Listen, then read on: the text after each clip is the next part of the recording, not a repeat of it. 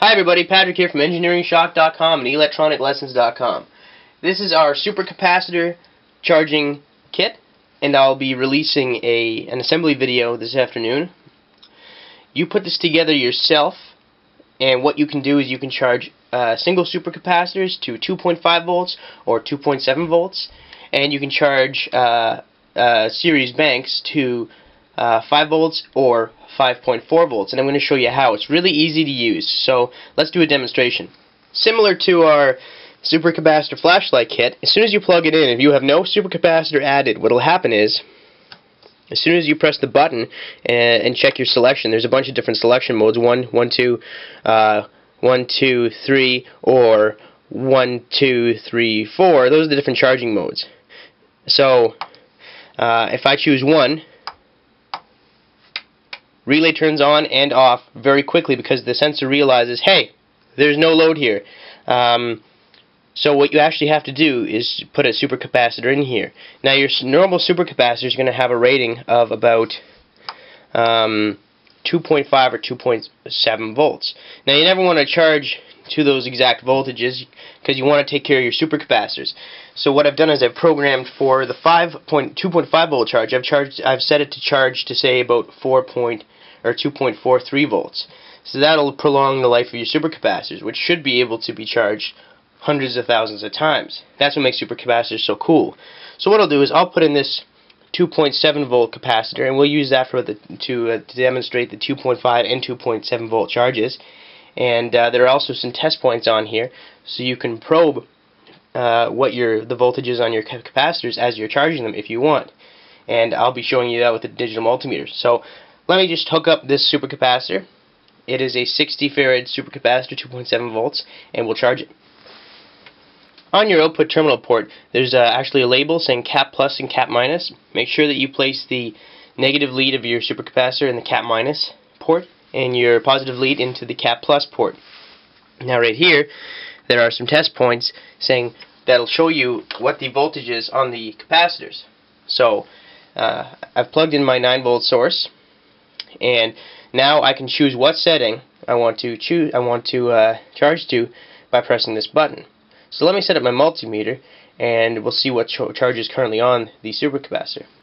As you can see, I've got 1.14 volts on it. So I'm going to hold the button down and get it in setting 1. In setting 1, once the LED blinks once, I just let go of the button and the relay will turn on. And that means it's going to charge to about 2.43 volts. And as you can see, it continues to charge. So I'm going to stop the video and I'm going to turn it back on when we reach about 2.3 volts. This is about a minute and a half later. I'd like to add that the charge limit, the current limit, is, is limited by this big resistor here. And that gets really hot, so when you place it in the kit, you, as I'll tell you in the assembly video, you want to place it at least two and a half, three centimeters above the board, and not to touch it while you're charging, because it does get very hot, because there's a lot of dissipation across it. So let's just watch.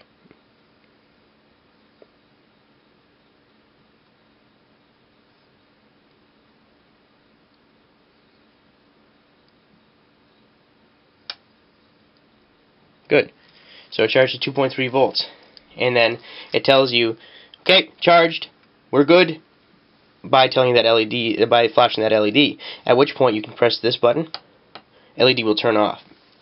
Now, the cool thing is, is after you've charged you can leave it in there. There's no back powering. It's complete. This capacitor is completely isolated through this this relay, so there'll be no back powering from the uh, or no leakage from the capacitors through the internal circuitry. I was very careful during the design to ensure that.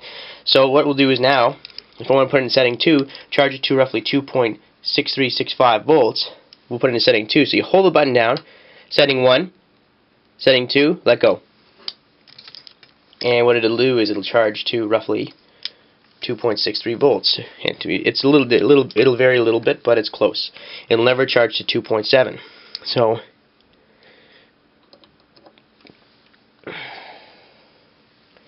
We'll just watch it because it won't take long. Now your power supply is 9 volts, uh, capable of sourcing at least uh, 650 milliamps. About 500 milliamps is going towards charging the supercapacitor, and the circuitry, the charge circuitry requires about 100 millivolts. You don't want to use 12 volts. This is designed for uh, 9 volts.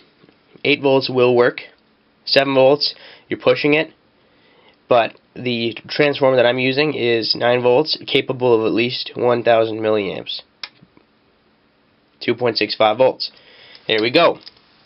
So I press the button. It's off. Now I'd like to add before I go into the other modes that if I hold the button down for too long, setting 1, setting 2, setting 3, and setting 4, if I still hold on to it,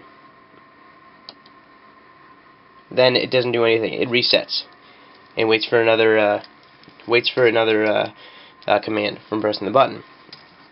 So let's set up a series bank and we'll charge the series bank. What I've got here is two series uh, 60 farad supercapacitors, 2.7 volts. So max charge is 2.7 times 2, which is 5.4 volts, and our series capacitance is roughly 30 farads. So right now, when you what I've done is I've taken this series bank, taken the positive lead, connected to the cap P or the cap plus lead, and the series negative lead, bank negative lead, and connected to the cap minus lead. Now, before you start charging, you don't have to do this, but this is just to show you. I can I can uh, put my my uh, leads on the test points just to show you.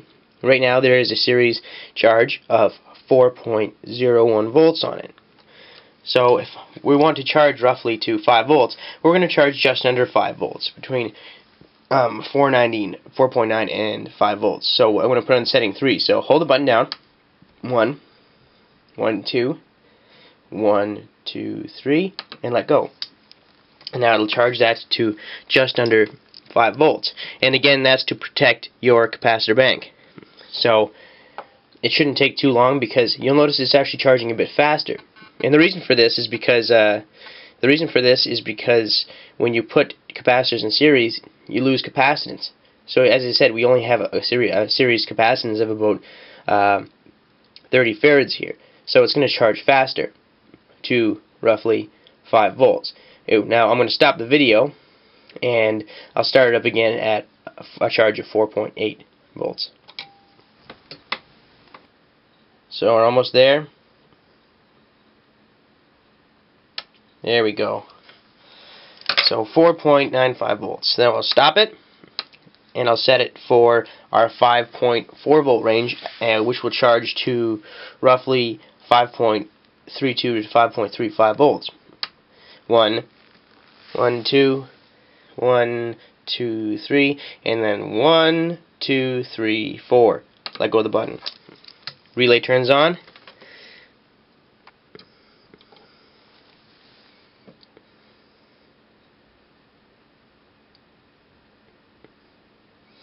And it'll charge. So again, I'll stop the video one more time, and then we'll uh, end the video once I've shown you it charging to the full 5.3 something volts. So we're almost there.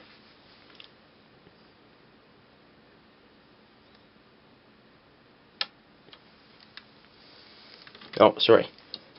Now, charged up to 5.3 volts, but what you'll notice is it might drop down a little bit.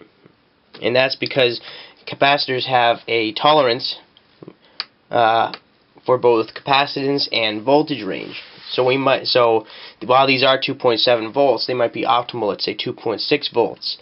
Uh, and the capacitance, as I said, a plus or minus range of 10 to 20 percent. Capacitors aren't the greatest for tolerances. Uh, there are specialty capacitors that are you have a plus or minus a tolerance of 1%, but certainly not in the supercapacitor range. And we're talking about SMD components that are specially made for, say, uh, uh, cell phone devices and high-tech devices. So that's the supercapacitor charger kit. Um, if you uh, in the assembly video, what I'll do is you you can you have the option of using your five millimeter jack for power. Yeah, I have a nine again a nine volt 1000 milliamp uh, transformer but I'll show you in the assembly video how to uh, connect, say, an external wire set so you can use a different kind of power supply in case you want to use that. So, thanks for watching everyone. I hope you found this interesting. My next kit will be uh, a PIR sensor kit, uh, an alarm system actually that picks up on the infrared spectrum in case uh, someone walks in the room, say a pet or a person, sets off a little alarm. Fun little kit. Voice recognition, we're behind schedule on it, but it's still coming. Uh, the layout and the schematic have been finalized, and I should have it within a month's time. So check us out soon. I'll be uploading videos all weekend.